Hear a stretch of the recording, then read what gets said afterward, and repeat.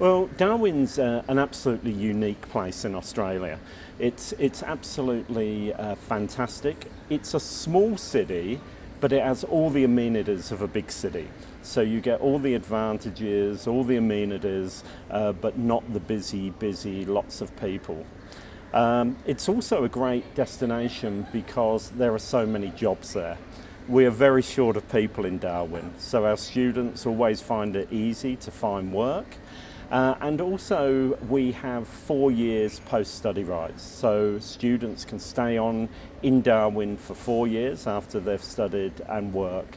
And a lot of our students get absolutely fantastic jobs with the government, with the big accounting agencies, or even uh, with our university. And also we have an absolutely world-class university, Charles Darwin University, right in the centre of Darwin. Okay.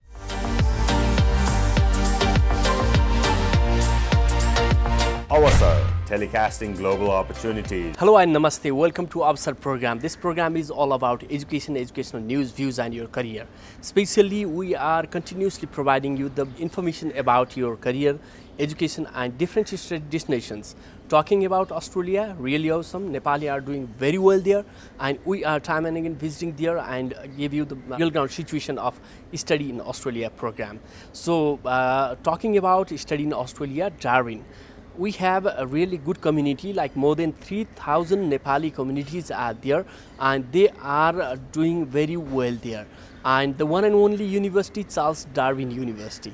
Today we have very special guest from the university side who is none other than Vice Chancellor of Charles Darwin University, uh, Professor Scott Bowman. Let's welcome him to the show. Scott, you are welcome on our show.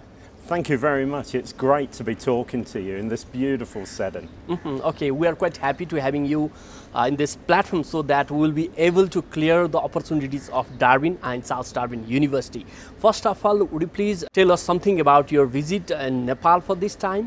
Yeah, well, we're visiting uh, Nepal to talk to students that are thinking of coming to Australia and who are thinking to come to the Northern Territory and Darwin.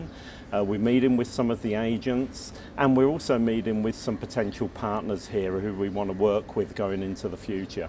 Okay, especially talking about the Darwin, uh, especially why international student could have choose Darwin for their higher education?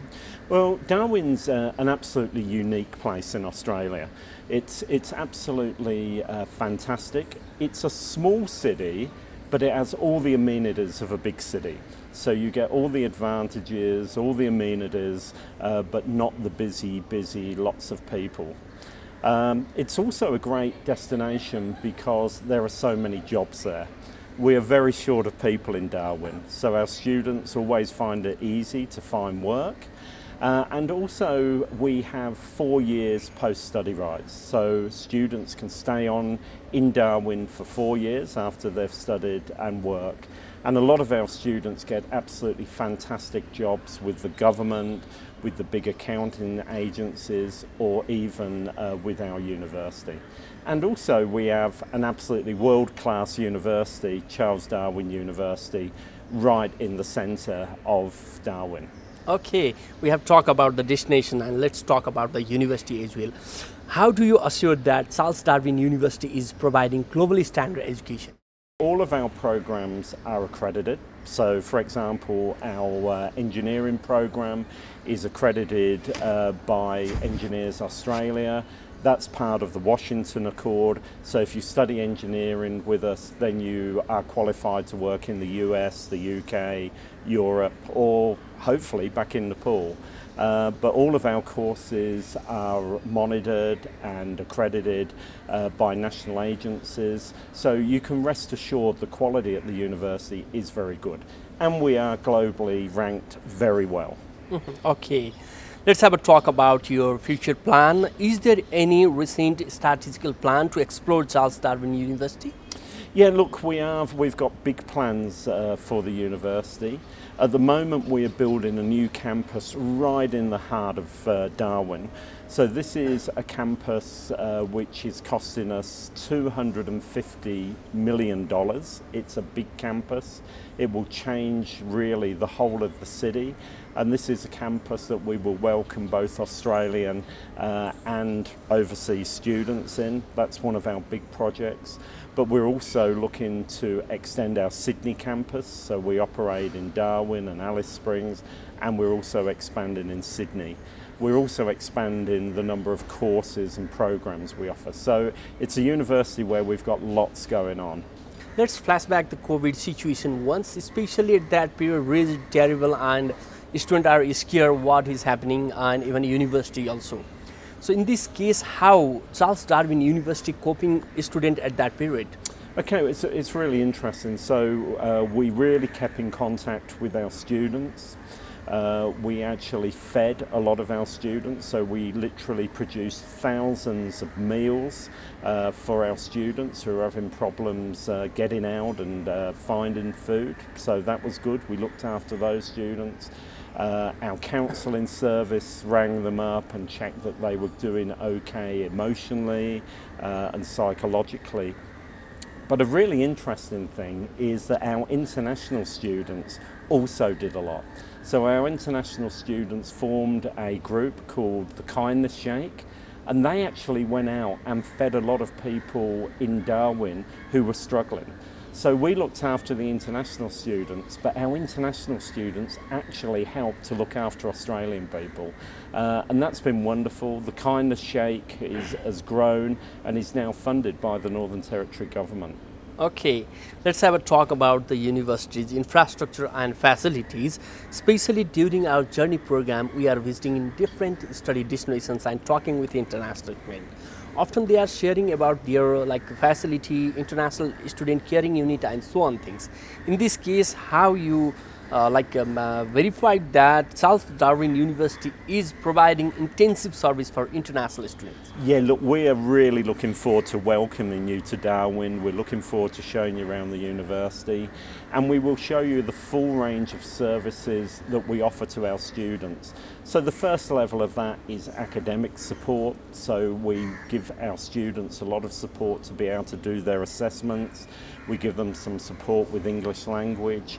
We do a lot of work in our libraries to help students uh, to prepare them for their study. So academically, we have those support units in place.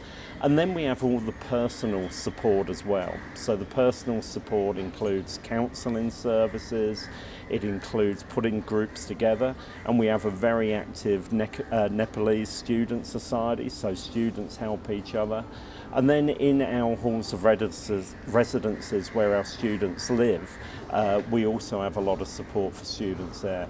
So we have a full range of support for international students. We feel our international students are incredibly brave to come to our country and study in a language which isn't their first language. And we know we have a massive responsibility to look after those students, uh, and we do. Okay, so talking about the uh, Nepali students in different uh, like community, they are doing very well. And the deserving students are climbing more and more scholarship as well. In this case, how Charles Darwin University is offering scholarship for international students, those who are deserving. Yeah, well, we have just decided on a new scholarship. So the world has just come through a very difficult period. Uh, we know that Nepal has suffered like every other country uh, with the pandemic, along with Australia. Uh, and we were thinking, how could we help students? How, how could we get things going again? So we're now offering the Charles Darwin University Merit Scholarship. And this scholarship is for all students. Mm -hmm. If a student can uh, meet the standards, the English language standards and the academic standards to get into the university, then they all get a scholarship of 30% for the duration of the course. So you get 30% off the course fees in the first year, and if you're doing a master's the second year, or if you're doing a bachelor's degree, even for the three or four years. We think this is going to make life a lot easier for our students. And also we have the Vice Chancellor's uh, uh, scholarship, which is for very bright students that are at the top of the tree. That can be up to 50%. But really, everybody, every student that applies to us and come in will get the merit scholarship. Okay, so especially talking about the uh, like uh, teaching pedagogy and delivering the globally standard education, it's really challenge. And to uh, give the sustainable mileage on this sector, what sort of the collaboration are there with different institution and other educational academia as well? Yeah, look, this is really important. So we do have relationships with other universities.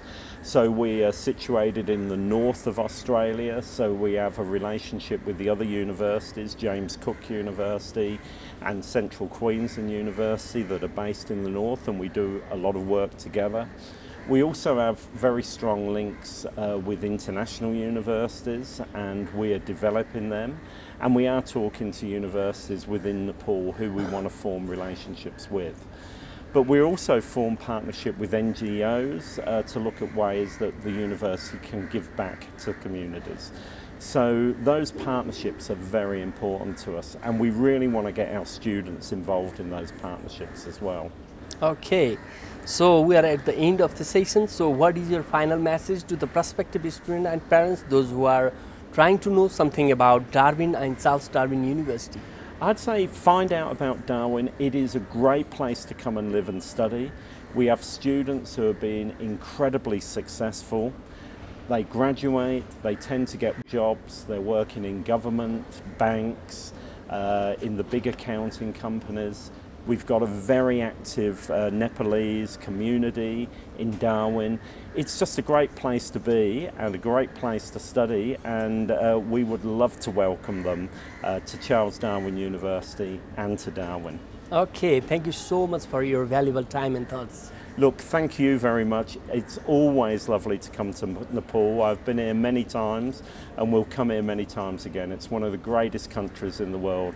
Thank you for taking the time to speak to me. Thank you so much. Awasar, telecasting global opportunities.